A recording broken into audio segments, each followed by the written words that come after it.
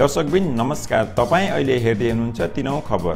तिनौँ खबरमा तपाईँहरूलाई पुनः स्वागत छ। यदि तपाईँ हाम्रो युट्युब च्यानलमा नयाँ हुनुहुन्छ भने लाइक कमेन्ट अनि सब्सक्राइब गर्न नभुल्नुहोला र यो भिडियोलाई जति सक्दो आम नेपाली दाजुभाइ तथा दिदीबहिनीहरू पुर्याउनु हुन आग्रह गर्दछु। दर्शकबिन चिनले अब नेपाली गोर्खा सैनिकबारे भर्ती लिने कुरामा चासो देखाएको छ। यस विषयले भारतमा निकै नै हैला खैला मचिएको छ।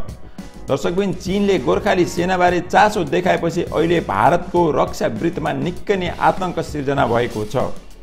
भारतीय मिडिया द इकोनोमिक टाइम्सले यसबारे भिडियो तयार पारेको छ।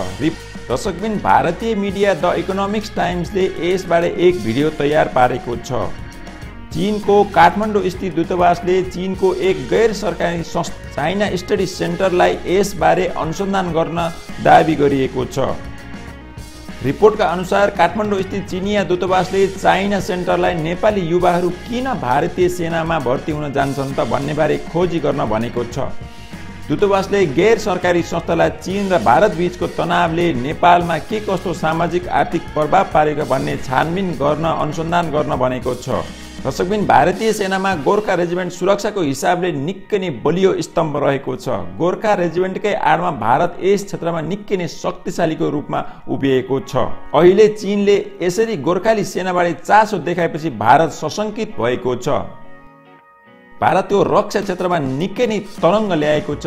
यस विषयमा भारतीय रक्षा विज्ञहरूले नेपालको दुष्प्रचार गर्ने प्रयास गरिरहेका छन्। उनीहरूले चिनको चासोलाई नेपाल भारत सीमा विवादबाट चिनले फाइदा उठाउन चाहेको बताएका छन् र नेपालले चिनको उक्साहटमा सीमा विवाद उठाएको उनले दुष्प्रचार गरिरहेका छन्।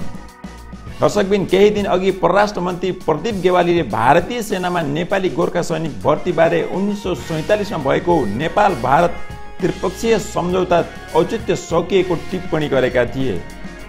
यो विषय निकै नै चर्चामा आएको थियो। परराष्ट्र मन्त्री गेवालीले यो सम्झौताको विगतका ठुलो सङ्ख्यामा रोजगारी सिर्जना गरे पनि अहिले अतीतको विरासत भएको र अहिले यसको औचित्य सकिएको बताएका छन्। र त्यो सम्झौताको समीक्षा गर्नुपर्ने प्रदीप गेवालीले बताएका छन्।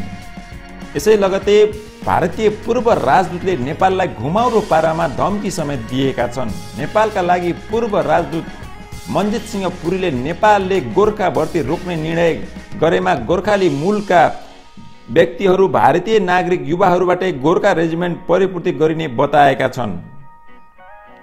अर्का पूर्व राजदूत रञ्जित रेले गोर्खा भर्तीबाट नेपालले ठुलो आर्थिक लाभ लिइरहेको बताएका छन्।